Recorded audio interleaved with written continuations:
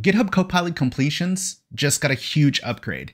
Instead of just proposing code, it will now suggest changes to existing code based on changes as you make them. It's called Next Edit Suggestion or NES. And in this video, I'm going to show you how you can start using it today.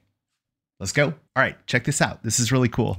So let's say that we want to pass in this unit here as a parameter. Watch this.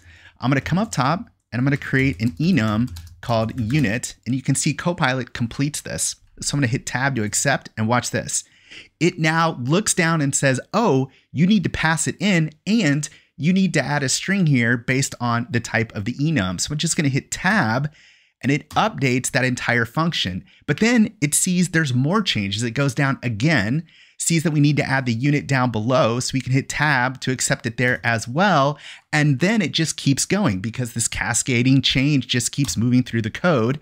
So we can hit tab to accept that, and then it adds it to the actual function call there, and boom, that refactor is done. That is Copilot Next Edit Suggestions. This is the natural evolution of completions in GitHub Copilot because most of the code that we write isn't new code, it's iterating over existing code. And that's where Copilot comes in clutch. For instance, Copilot's next edit suggestions is super powerful because it can find bugs you don't even know that you have. Let me give you a real world example. So the other day, I'm in my own personal blog making some updates to the HTML. And as I am making these updates, I made the update.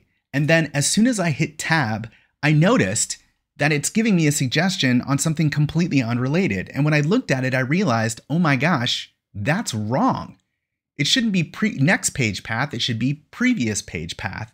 So I just hit tab, accept that, and the paginator, which was never working to begin with, is now working. That's brilliant. Now, you see these three dots all over my code? You know what this is? It's not a mistake. If I click into it, watch this. Boom, there's all my CSS classes. It's just the class attribute and it's been collapsed. And this is an extension called inline fold.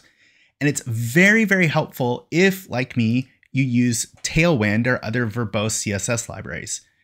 And what's nice about this is that you can easily toggle it on and off right from the command palette.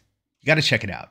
That's called inline fold. I want to show you one last thing with next edit suggestions because as it turns out, it's not just for code. So look at this, look at this. This is an actual blog post I was working on for agent mode in GitHub Copilot, which if you haven't checked that out, you got to check that out. But while I'm writing, next edit suggestions is popping up and helping me with my grammar. So clearly I struggle with its versus its. And as you go down, you can see it'll fix spelling mistakes for you. And you can just sort of see there's an arrow down there now showing you there's more changes down. If you click the arrow, you can just go to, which is just tab or escape to reject. So we can just click tab, tab down. Looks like I did it yet again. This is next edit suggestions in GitHub Copilot.